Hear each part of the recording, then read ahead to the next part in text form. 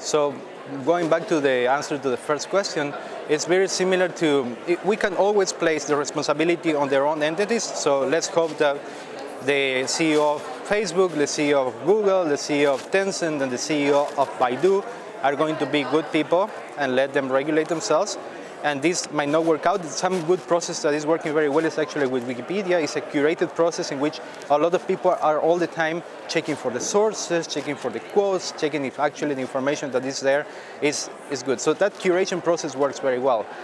Now, uh, even that one can be affected by the amount of people who say, let's go to an example.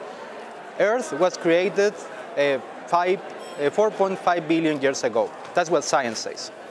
But there are some sources that say that the Earth was created six to 7,000 years ago, which is the creationism theory, right? It's in the US, a lot of people believe that actually the Earth is a thousand years old. Some, uh, a couple of thousand, seven, six thousand years old. Now, this knowledge is uh, scary because it's actually not true. It's, I mean, why do I say it's not true? Because I have read the science of geology and I have read about math, math and I know how the principles that could have brought the Earth to existence need to take at least those 4.5 billion years, old, years of existence. Now, if we let either the people creating the content or even governments, governments can also be uh, chosen. It was, uh, I love democracy, but Winston Churchill used to have this quote. The best argument against democracy is an average talk, is a five minute talk with an average voter. So even ourselves can make mistakes. Even democracy is a good uh, tool and it's actually allowing us to, to let everyone have a voice.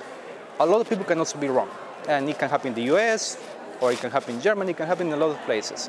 So one good example is when you have elections that are by 50 to 50, 49 to 51, at least half of the population is wrong with the decision they have made.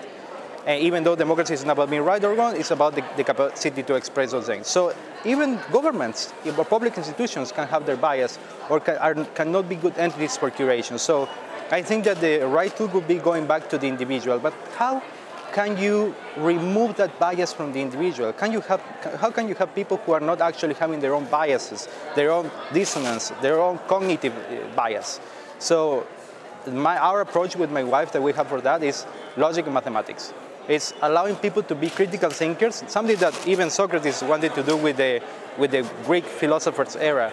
It was, they had their Greek gods, and he came and said, why do we have gods? Oh, because it's written everywhere, it talks about that. And he said, don't you want to challenge that? He said that to the students. The punishment was he, he was placed to death by the Greek Senate, by the Athenian Senate, right? They didn't like it that he was making people question things. But at this point, we're still, in a lot of countries, women and men have the chance to question and to challenge. And I guess that's the way.